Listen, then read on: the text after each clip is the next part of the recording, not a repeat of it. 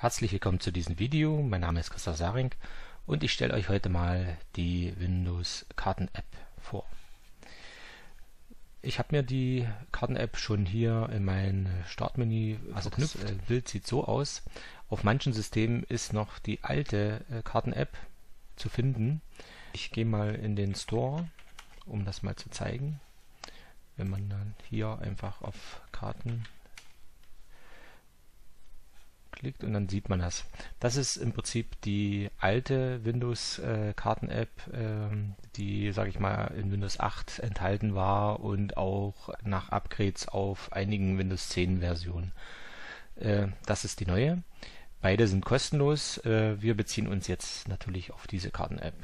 Die lässt sich ohne eine Microsoft Live Konto-Anmeldung aus dem App Store installieren, falls die nicht installiert ist. Äh, falls Sie aufgefordert werden, ein Microsoft Live Konto einzugeben und Sie möchten das nicht, können Sie das einfach mit äh, oben auf äh, X, also auf das X sozusagen äh, abbrechen und dann äh, installiert das ohne Probleme. Obligatorisch, wie immer, wenn euch das Video gefällt, dann abonniert bitte meinen Channel und dann würde ich sagen, beginnen wir einfach mal.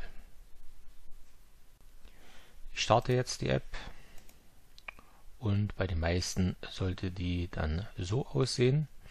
Wir können die, äh, die kann auch ein bisschen kleiner sein, da sind die Menüpunkte natürlich hier unten. Wir machen jetzt mal einen Vollbild oder ein Vollbild und äh, schauen uns einfach mal jetzt äh, die einfachen verschiedenen Funktionen an. Die App kann relativ viel, basiert äh, im Prinzip auf Bing Maps, beziehungsweise hier, also es ist eine Kooperation zwischen hier und äh, Microsoft. Ähm, die äh, Webseite Bing Maps äh, oder die Map da drauf, die ist ziemlich ähnlich, außer ein paar Kleinigkeiten fehlen dort. Ähm, aber das Kartenmaterial und die ganzen Logiken sind im Prinzip äh, gleichwertig.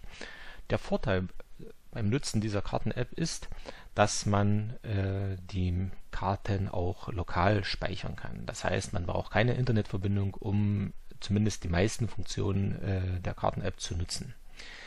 Um sich jetzt äh, Karten zu äh, lokal zu installieren, also das heißt, man kann sich für jedes Land oder für alle möglichen Länder äh, kann man sich die Karte lokal ziehen, muss nicht alle oder die ganze Welt sozusagen.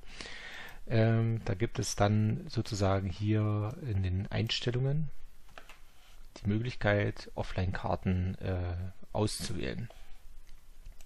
Man kann auch hier in den Windows-Einstellungen Karten für die Offline-Anwendung äh, herunterladen ist im Prinzip genau das gleiche. Also es basiert alles auf diesen Karten. Der Vorteil äh, von diesen Sachen ist, dass natürlich Entwickler auch in ihren eigenen Applikationen äh, über API-Schnittstellen auf dieses Kartenmaterial zugreifen können.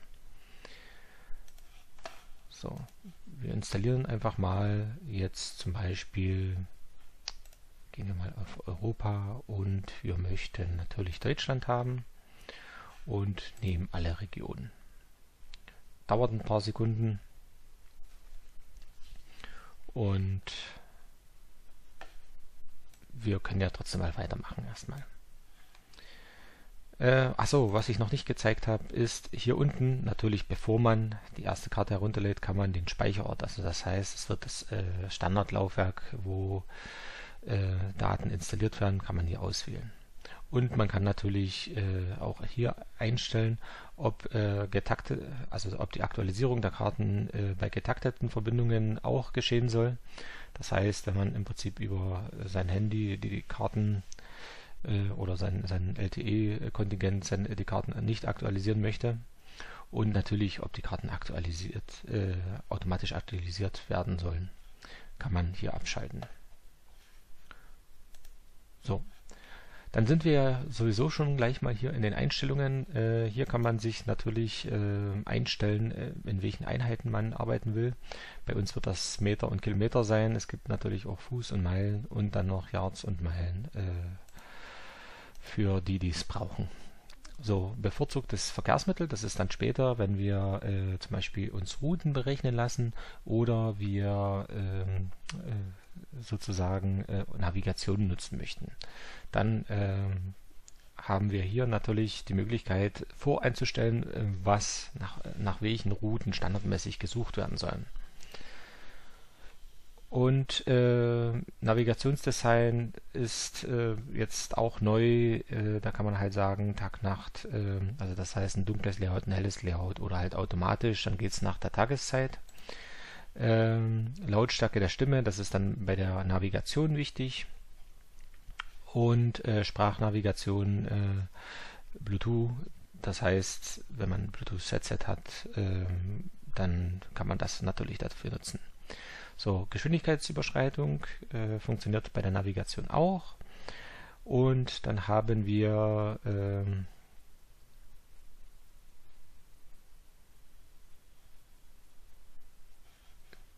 Transitbenachrichtigungen, ja, das habe ich noch nicht getestet, also was da, ähm, was da jetzt genau dann gemeldet wird.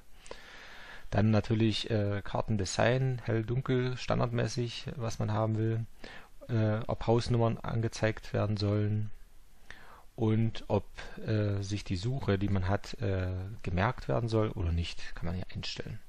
Dann natürlich noch erleichterte Bedienung für äh, kleinere Bildschirme. Das heißt, da werden halt die ganzen Elemente und, und Bedienelemente werden optimal ähm, angepasst. So, gehen wir mal auf die Karte zurück wie man das kennt, halt äh, Google Maps, Bing Maps und auch andere Kartendienste, kann man hier natürlich erstmal nach einem Ort äh, suchen.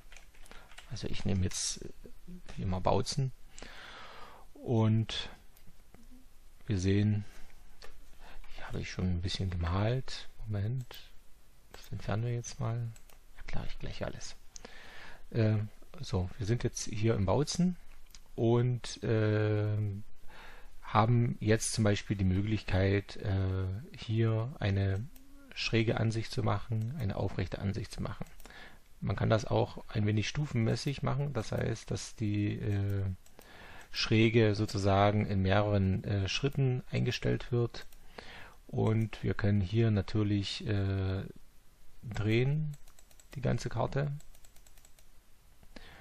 Und wir können im Prinzip hier unseren Standort anzeigen lassen. Geht bei mir natürlich jetzt nicht, weil ich jetzt kein GPS äh, äh, Signal anliegen habe und ich auch keine datenschutztechnischen Einstellungen gesetzt habe, dass äh, die Karten-App meinen Standort automatisch ermitteln darf. So, dann haben wir hier obligatorisch noch das Plus und das Minus für rein und heraus zoomen.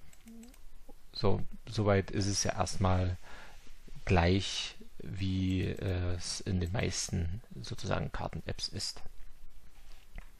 So, dann haben wir, äh, ich habe ja jetzt hier äh, nach Bautzen gesucht, hat es natürlich Bautzener Mitte gesucht. Und dann sehen wir hier oben, dass äh, wir hier einen, einen Tab dazu bekommen haben. Äh, und in diesen, unterhalb dieses Tabs haben wir hier dieses Feld. Das heißt, wir könnten jetzt hier eine Wegbeschreibung, ist natürlich noch Quatsch, weil wir keinen Ziel, äh, keinen Start und keinen Zielort angegeben haben. Dann haben wir hier die Möglichkeit, äh, den Ort äh, in einer Liste zu speichern. Das heißt, wir haben hier mehrere äh, Felder. Ähm, dieses Feld gibt es noch einmal. Das heißt, in diesem Feld kann man angeben, was äh, die eigene Privatadresse ist. Nutze ich nicht. Das ist äh, der Punkt, wo die eigene sozusagen, äh, wo die Arbeitsstelle ist.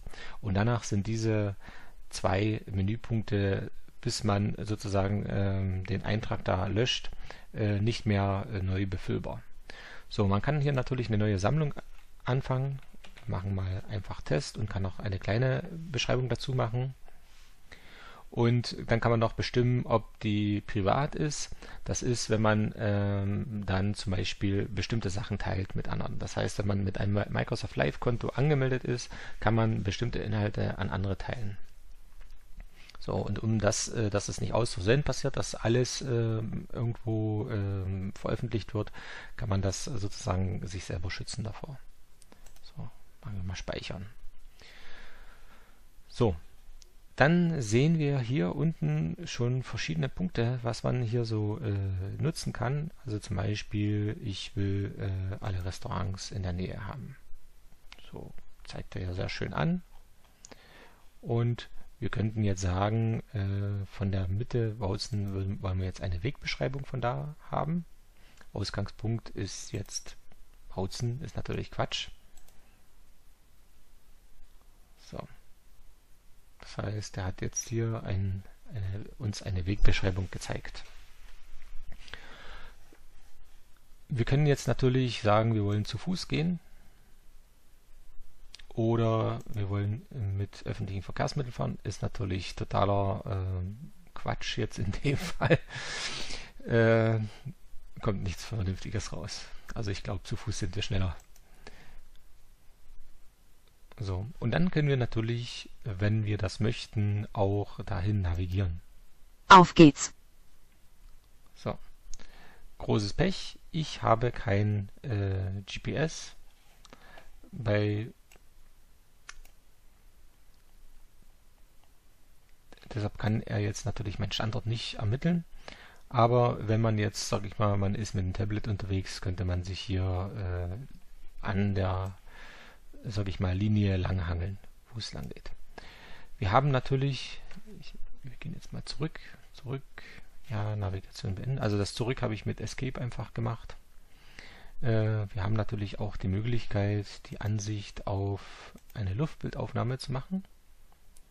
In manchen Städte, Städten kann man auch äh, schräg dann drauf schauen und hat eine 3D-Ansicht. Äh, Bautzen ist äh, diesbezüglich leider noch nicht so äh, gut bestückt. Wir könnten jetzt zum Beispiel mal sagen, wir suchen mal äh, Berlin. Und dann können wir hier zum Beispiel auch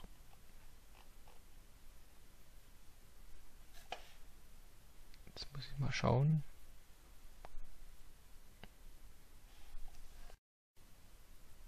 Zum Beispiel in Berlin können wir auch in eine Schrägansicht gehen. Ähm, das ist aber nur ein errechnetes Bild. Das ist nicht wie bei Google Street Maps, dass da jetzt äh, irgendwelche Fahrzeuge äh, rumgefahren sind und aufgenommen haben. Das wurde halt einfach über verschiedene Satellitenfotos äh, interpoliert.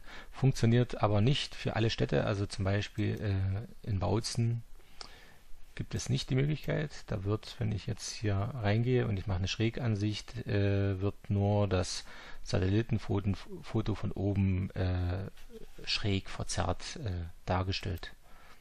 Das heißt, ist nicht in 3D erfasst, Bautzen, leider. So, wir wechseln mal jetzt wieder auf die Kartenansicht und äh, gehen mal wieder auf die Ansicht von oben und dann erkläre ich erstmal noch so ein paar andere Funktionen. Also wir haben ja hier die Möglichkeit zum Beispiel auch den Verkehr einzublenden. Das heißt, für die zumindest wichtigsten Straßen, äh, wo es öffentliche Daten gibt, kann man äh, sich anzeigen lassen, wie die Verkehrsströme sind. Das heißt, hier die großen Straßen in Bautzen sind ganz okay. Hier sehen wir zum Beispiel, ist eine Sperrung und hier ist äh, zähflüssiger Verkehr wegen einer Baustelle. Und wir können das gleiche ja mal in Berlin nochmal zeigen. Da sehen wir jetzt auch, äh, ich mache mal ein bisschen größer, wo es halt die wichtigsten Probleme gibt, sozusagen verkehrstechnisch. Äh, dann haben wir hier noch, äh, wo es Störungen gibt. Das heißt, dann werden hier zum Beispiel die Baustellensymbole eingeblendet oder halt äh, irgendwelche Sperrungen sozusagen angezeigt. Und ähm, hier mit diesem Knopf kann man äh, öffentliche Verkehrskameras einblenden lassen oder auch nicht. Ähm, das ist aber leider wahrscheinlich in Europa jetzt nicht mehr ganz so, ähm, also zumindest habe ich keine Kamera gefunden, äh, die hier funktioniert. Wahrscheinlich aus äh, DSGVO-Gründen. Ähm, da kann man live die, sozusagen den Verkehr äh, von öffentlichen Verkehrskameras anschauen. Ähm, Street Sight äh, hat funktioniert hier in Europa, zumindest habe ich das in keinen äh, Städten oder äh, keine Stadt bis jetzt gefunden, wo das ähm, äh, funktioniert. Da würde man in dem oberen Bereich immer, wenn man irgendwas anklickt, äh, Fotos haben von irgendeiner Straßenansicht. Da sind die leider noch wahrscheinlich nicht so weit bei uns. Und dann haben wir, äh, also das heißt, gehen wir aus und Windows Ink Anzeige, das ist dann, wenn man äh, die Tablet-Modus-Funktion äh, mitnutzen möchte. So. Äh, wir können ja, also wir sind jetzt hier, hat er den Punkt auch irgendwo in der Mitte von Berlin gesetzt, ähm, haben wir auch wieder die Möglichkeiten, Restaurants, Sehenswürdigkeiten, Einkaufszentren, Hotels, Banken oder Krankenhäuser oder halt Parkplätze. Parkplätze sind immer interessant und äh, kann man sich dann sozusagen anzeigen lassen.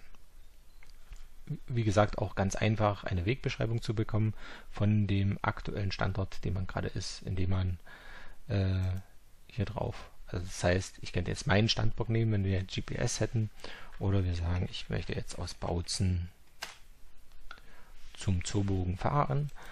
Lasse ich mir die Wegbeschreibung ausgeben so, da gibt es diese verschiedenen Möglichkeiten. Also ich werde bestimmt nicht über Leipzig nach Berlin fahren. Ähm, und hier gibt es halt dann die verschiedenen äh, Routen und man kann sich halt die Zeit mit anzeigen lassen. Und äh, man könnte jetzt auch sagen, ich will mit öffentlichen Verkehrsmitteln fahren. Mal sehen, was da kommt. Also ich glaube, mit dem Auto, wenn ich keine Zeit habe, bin ich ein bisschen schneller. Ähm, aber wenn man es halt ein bisschen äh, gemütlicher hat, kann man auch äh, mit der Bahn fahren. So, und zu, zu Fuß hat es keinen Sinn. So, natürlich gerade bei den öffentlichen Verkehrsmitteln ist es manchmal auch interessant, äh, wenn man plant, anzugeben, wann man losfahren will oder wann will man da sein. Äh, gut, bei Autofahrt ist auch Ankunft eventuell interessant. Das kann man sich dann hier einstellen, sozusagen. Wann will ich abfahren und wann will ich dort sein? Ähm, das ist gerade bei öffentlichen Verkehrsmitteln äh, manchmal sehr nützlich, da die ja nicht zu jeder Zeit verfügbar sind. So, dann können wir hier noch äh, Routenoptimierungen machen. Das heißt, beste Route, Route mit den wenigsten Umstiegen, kürzeste Reisezeit. Also das wäre wieder bei der Bahn und das wäre halt bei Auto auch eventuell. So, das sind jetzt erstmal so diese Standardgeschichten, die ähm, so ziemlich auf, äh, sage ich mal, jeder Map funktionieren. Und jetzt haben wir halt noch ein paar schicke zusätzliche Sachen. Das heißt, wir gehen jetzt mal einfach hier ein bisschen nach Berlin rein oder wir machen das mal anders. Äh, wir wollen jetzt zum Beispiel ähm, navigieren, also ich gehe mal doch ein bisschen rein. So, das heißt, ich möchte jetzt zum Beispiel von hier, warum auch immer, das heißt Wegbeschreibung von hier. Und dann gehen wir einfach mit dem mit der Maus und der rechten Maustaste hierher und sagen, ich will Wegbeschreibung hierher. Und wir haben gesehen, das hat oben äh, die Angaben schon befüllt. Und dann rufen wir das mal einfach ab. So, es gibt viele Möglichkeiten. Dann öffentliche Verkehrsmittel. Das sieht schon besser aus als mit dem Auto. Ja, und zu Fuß, das dauert ein Weilchen. Okay. So, dann gibt es noch eine Funktion, also das heißt, wir haben hier äh, so ein äh, das Windows Ink äh, Symbolleiste und dann wollen wir das einfach mit der Hand einzeichnen. Das heißt, ich will von hier, hier, hier, hier, hier, hier. Und dann hat es mir die Möglichkeiten, wie ich da hinkomme, äh, ausgerechnet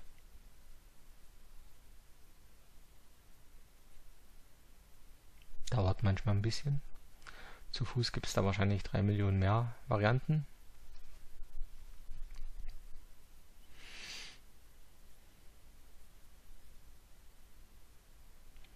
Oh, da hat er ein bisschen zu kauen.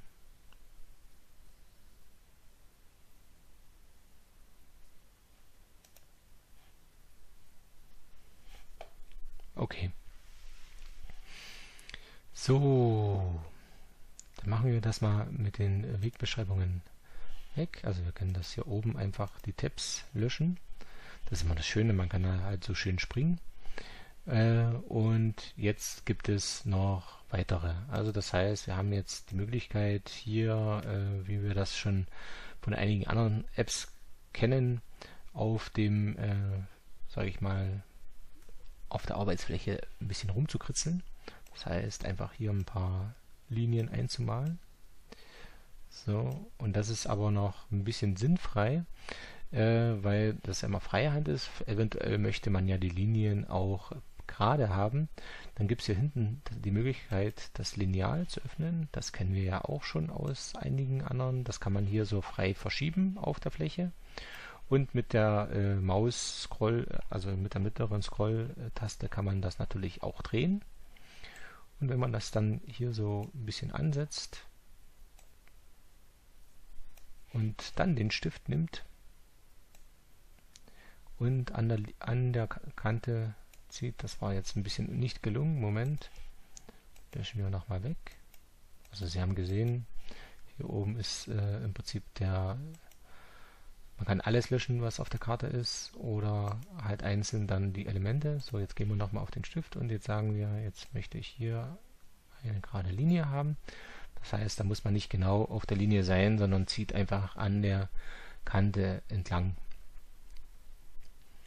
So, das ist ja äh, schön. Da kann man jetzt sich hier den ganzen, äh, die ganze Fläche voll malen mit irgendwelchen Strichen und anderen Sachen. Und weiß ich nicht, für irgendeine Planung, die man mal machen möchte oder man braucht irgendwie eine Markierung von irgendwas. So, jetzt gibt es aber noch eine schöne zweite Funktion und zwar gibt es hier zum Beispiel Entfernungen messen. Das heißt, man kann das auch wieder sch äh, schön frei Hand machen oder wenn man halt einen Stift hat äh, und irgendein äh, Gerät, mit dem man äh, Stifteingabe nutzen kann, dann kann man einfach freie Hand an der Linie ziehen. Mit der Maus gelingt mir das nicht. Sehen wir jetzt hier 1,4 Kilometer zum Beispiel. Oder halt hier, ich will das wissen, wie viel ist das? Ja, sind 3,2. Oder ich will einmal um den Block laufen, dann kann ich ungefähr mir das ausrechnen, wie viele Kilometer sind das? 7 Kilometer. So, und auch hier funktioniert das mit dem Lineal. Das heißt, wir ziehen einfach an der Kante und sehen. Und so kann man sich zum Beispiel irgendwelche Entfernungsmarkierungen, ich nutze das zum Beispiel, um WLAN-Entfernungen äh, für Richtfunk äh, oder, oder Richtfunk-WLANs äh, zu messen, wie viele Kilometer sind das teilweise von äh, Sendemast zu Sendemast. Äh, dafür finde ich das ganz praktisch.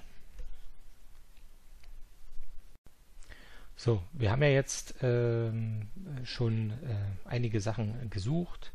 Wir haben Abstände äh, gemessen und Linien gezogen. Und jetzt möchte man ja sicherlich auch hier oder da mal eine kleine Planung äh, machen für eine Reise oder zum Beispiel einen Stadtbesuch oder irgendetwas anderes. Äh, dafür lösche ich erstmal alles, was ich äh, bei mir auf der Karte jetzt äh, gemalt habe. Das heißt, wird jetzt komplett entfernt. Und jetzt könnte ich zum Beispiel sagen, ich will jetzt Berlin Fernseh. Oh, sollte man auch mal richtig schreiben, Fernsehturm zum Beispiel. So, da gehe ich jetzt hier hin. So, ich möchte den jetzt besuchen und jetzt will ich den ähm, natürlich auch in meiner, will ich äh, die Planung ja irgendwie speichern. Das heißt, ich mache jetzt erstmal, gehe hier auf Speichern und äh, würde jetzt dafür zum Beispiel eine neue Sammlung anfangen. So, die nenne ich jetzt einfach mal Berlin Besuch.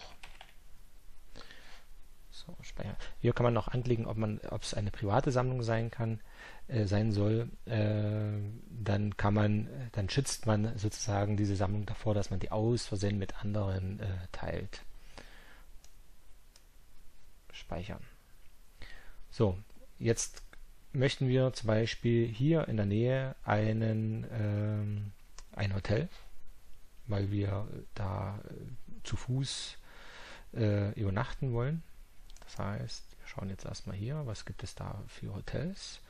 Und da sehen wir hier schon die ganzen Punkte und wir sehen, äh, ja, also wir haben es ja ein bisschen. Und äh, da werden wir mal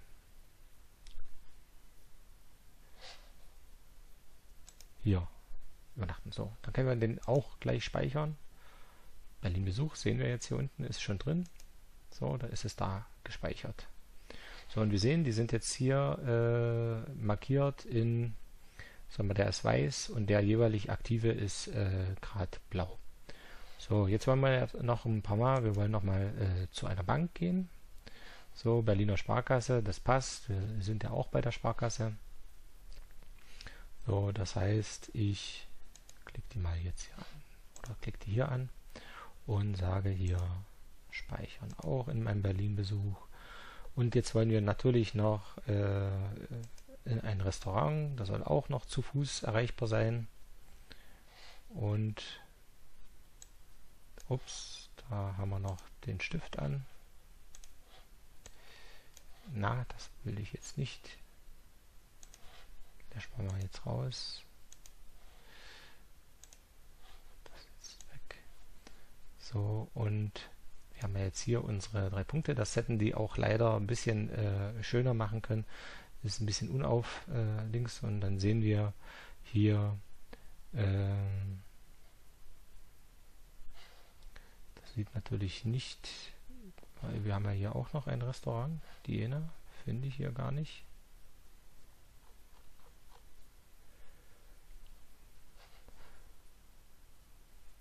Hofbräuhaus. Das scheint natürlich wahrscheinlich nicht richtig verknüpft zu sein.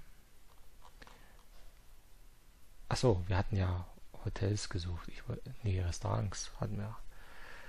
Ähm, also sind auf jeden Fall nicht alle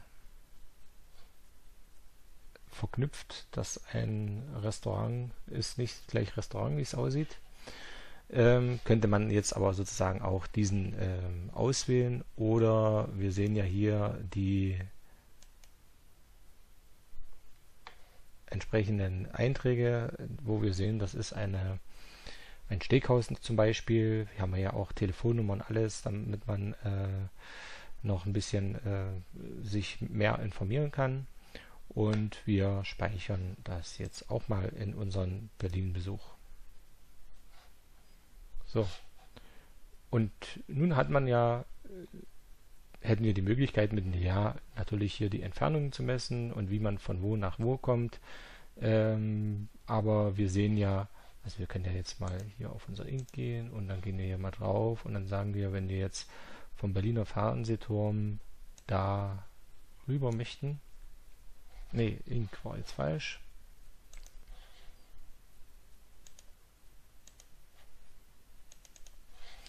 sondern wir wollen uns ja navigieren. Das heißt, wir gehen von hier nach hier und wir wollen zu Fuß gehen. So, da sehen wir, wir brauchen sechs Minuten zu Fuß und das sind ungefähr 650 Meter.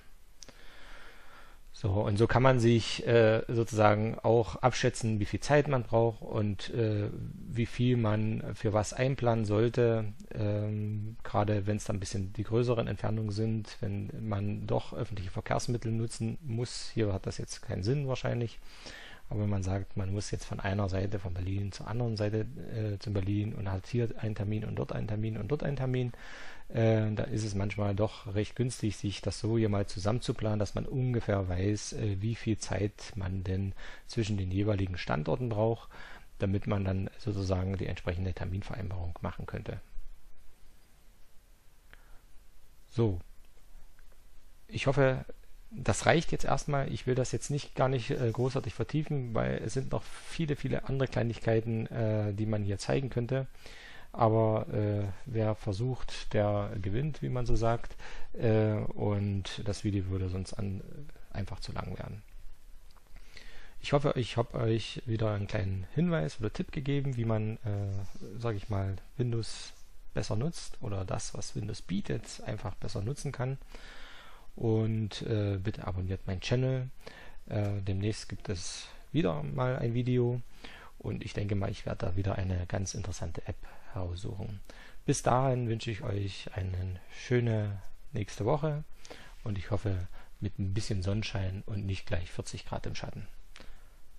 Bis bald.